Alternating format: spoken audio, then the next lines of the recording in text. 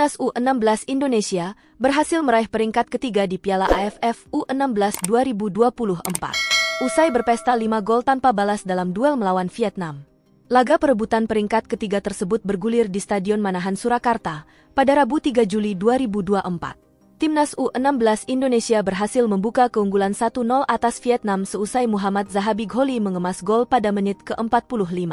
Saat itu Goli menerima umpan terobosan di area pertahanan Vietnam. Ia lalu berlari kencang dengan diapit dua pemain lawan. Walau demikian, Goli tetap tenang. Sang penyerang berumur 15 tahun itu lalu dapat meloloskan diri guna menjebol gawang Vietnam dengan tenang. Tak lama kemudian, timnas U16 Indonesia kembali membukukan gol. Kali ini, gol Garuda Asia dikemas oleh Dava Zaidan pada menit ke-48. Dava Zaidan mendapatkan operan dari Jos Holong. Ia sempat mengontrol si kulit bundar di dekat kotak penalti Vietnam. Dan langsung meluncurkan bola dengan tendangan kaki kanan yang meluncur mulus ke gawang Vietnam. Aksi Dava Zaidan mengantarkan timnas U16 Indonesia memimpin 2-0 atas Vietnam sebelum turun minum. Berlanjut ke babak kedua, Vietnam menebar ancaman ke gawang timnas U16 Indonesia melalui tendangan bebas Nguyen Man Chuong pada menit ke-58. Akan tetapi, kiper timnas U16 Indonesia, Dava Algasemi, mampu menangkap bola hasil tembakan Nguyen Man Chuong. Memasuki menit ke-70, Chungok Nguyen Luk meluncurkan bola dari luar kotak penalti menggunakan kaki kanan. Bola hasil sepakan tersebut meluncur deras. Namun, kiper Indonesia Dava Algasemi masih sigap sehingga berhasil melakukan penyelamatan. Timnas U16 Indonesia masih belum puas. Tim besutan Nova Arianto itu kembali membukukan gol melalui Daniel Alfredo pada menit ke-76.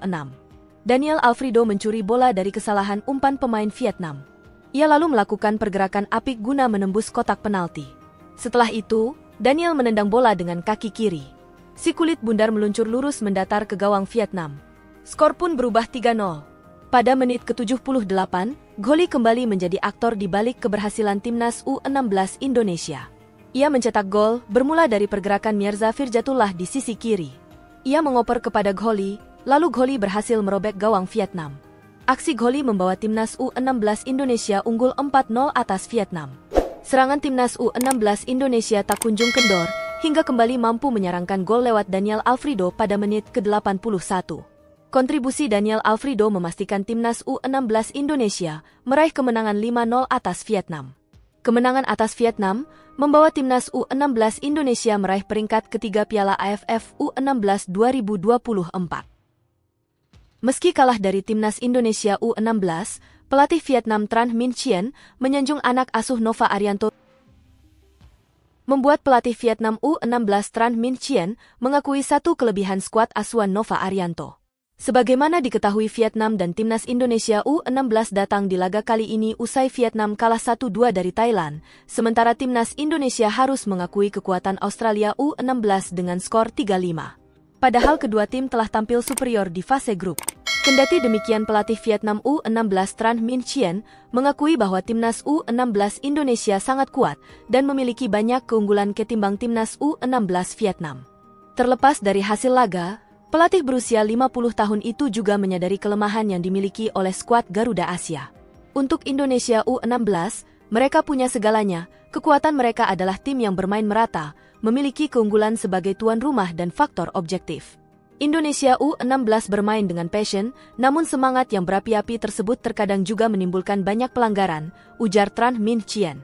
Menariknya Nova Arianto sendiri menegaskan telah mengingatkan anak asuhnya untuk meminimalisir kesalahan. Asisten Shin Taeyong tersebut bahkan memberikan kesempatan kepada semua pemain hingga melakukan rotasi. Coach Nova sendiri menjelaskan masa pemulihan yang terbatas akan menjadi tantangan tersendiri, namun dia tidak terlalu khawatir akan hal tersebut. Bukan maksud menyepelekan lawan atau tidak serius memperebutkan tempat ketiga, tetapi Nova Arianto menyampaikan bahwa tujuan utama sejak awal di Piala AFF U16 ini memang untuk cari pemain-pemain terbaik yang mana nantinya akan berlaga di kualifikasi Piala Asia U17. Pertama ketidaksabaran berujung blundar, Pelatih timnas Indonesia U16 Nova Arianto mengkritik anak asuhnya yang kerap kali tidak sabar dalam bermain. Sikap terburu-buru ini berakibat pada kesalahan yang tidak perlu, seperti pelanggaran yang berujung kartu merah dan blunder yang berakibat gol. Hal tersebut terlihat ketika menghadapi Australia di babak semifinal. Terlepas dari hasil laga kontra Vietnam, para punggawa timnas U16 pun patut belajar dari kesalahan tersebut, mengingat kualifikasi Piala Asia U17 memiliki level yang lebih tinggi. Kedua agresivitas berlebihan akan menjadi bumerang. Meskipun bermain penuh semangat dan percaya diri, agresivitas berlebihan timnas U16 hingga babak perebutan tempat ketiga justru menjadi bumerangnya. Tekanan berlebihan dalam menyerang justru membuat skuad asuhan Nova Arianto rentan melakukan pelanggaran dan kehilangan bola.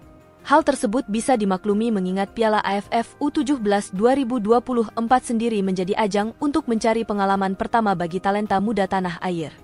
Kendati demikian agresivitas tinggi juga patut diimbangi dengan visi dan kedisiplinan agar pertandingan lebih terkontrol. Ketiga kesalahan individu yang menguras tenaga, kesalahan individu menjadi momok menakutkan bagi timnas U16. Kesalahan-kesalahan ini tidak hanya menguras tenaga, tapi juga memberikan peluang emas bagi lawan untuk mencetak gol. Hal itu terbukti hingga laga kontra Vietnam, yang baru saja tersaji sang pelatih Nova Arianto sendiri menegaskan bahwa kesalahan individu harus diminimalisir agar bisa meraih hasil yang maksimal dan bisa bersaing di kualifikasi Piala Asia U17 2025.